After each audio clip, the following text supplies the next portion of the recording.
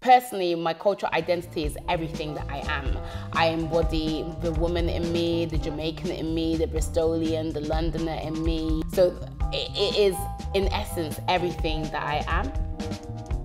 I was raised in Christianity. Like, if you know anything about Jamaica, know that it has the most um, churches per square mile and it has the most rum shacks per square mile as well, you know?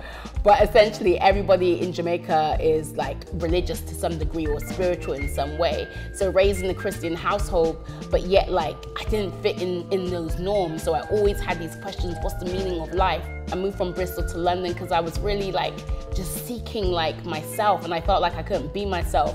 In Bristol, you had to be a black girl who had like crisscross going down her face and you had to say, get me and you know, you had to fancy this person and you had to want to live in a bed sit and you know, and I was like, this is not me.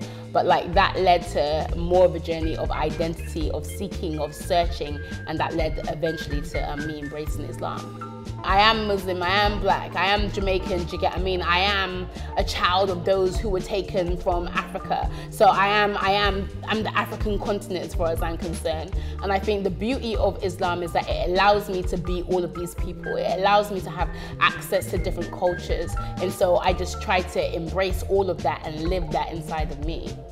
I consider myself creation. I consider myself the universe. Like, if we figure that the universe contains so much, within ourselves, we too contain so much.